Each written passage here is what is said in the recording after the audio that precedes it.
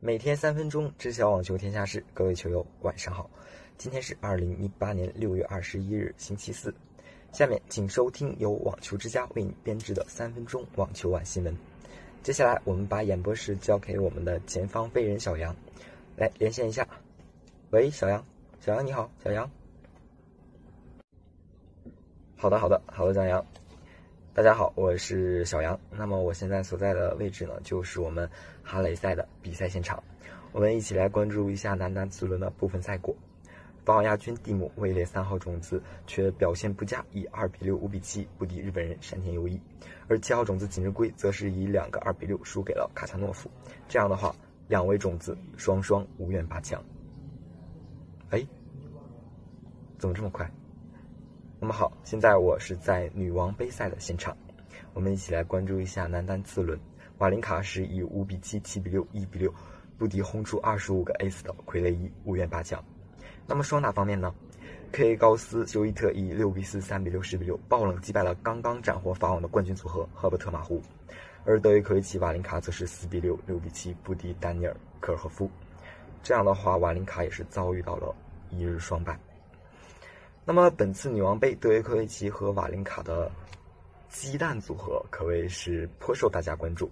那么大家还能想到一些其他什么有趣的组合吗？比如说费德勒和纳达尔的牛豆组合，还有费德勒和瓦林卡的牛蛋组合。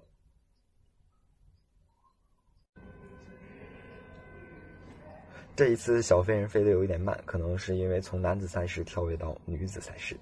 先来关注一下伯明翰站，女单第二轮，梅拉德诺维奇六比三、二比六、一比六不敌富有草地精灵之称的莱巴里科娃，大阪直美三比六丢掉第一盘之后退赛，保送对手雅库波维奇晋级。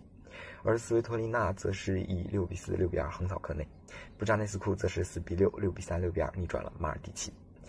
双打方面。穆古鲁扎卡萨金娜六比一、六比七、十二比十四不敌梅里查尔佩斯切克。至此，穆古鲁扎在双打方面收获了三千七百八十亿美元，这样他将捐给慈善机构，也是三千七百八十亿美元，用于帮助儿童建造图书馆。穆古鲁扎这一举动非常富有爱心，也是获得了大家的一致好评。而另外的一场焦点战役，由台北名将拉蒂莎詹搭档 W 斯基对阵海峡组合詹浩晴杨昭轩，最终是拉蒂莎詹 W 斯基以四比六、六比三、五比十不敌海峡组合，首轮出局。那么詹浩晴是拉蒂莎詹的妹妹，嗯，所以说这场比赛是最终妹妹获胜，因为其中有我们的中国球员杨昭轩，所以啊这场比赛也是嗯大快人心啊。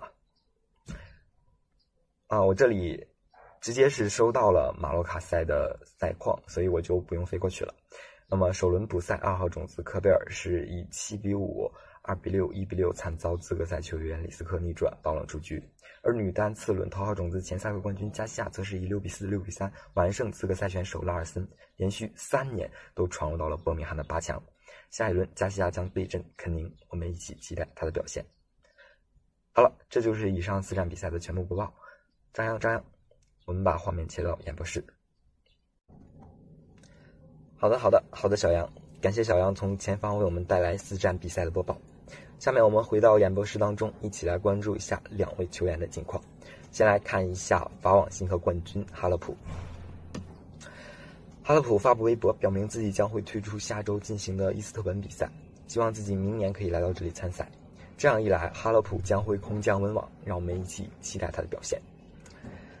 再来看一下小威廉姆斯，小威的法网黑豹战袍可谓奇景无数，威后与黑豹站在一起更是相似度十足。我们一起看一张图片，感受一下。那么昨日小威出席了某慈善活动，相比于黑豹系列，粉红色系列，你们觉得如何呢？看完两位球员的近况，我们再来了解一下今日赛程，看看今日有哪些比赛值得我们关注。那么女王杯的德约科维奇，哈雷赛的费德勒。伯明翰的科维托娃和穆古鲁扎，马洛卡的阿扎伦卡，比赛看点十足，不知道大家如何选择，所以希望大家关注我们的网球比赛，也关注我们网球之家的三分钟新闻。我们明天再见。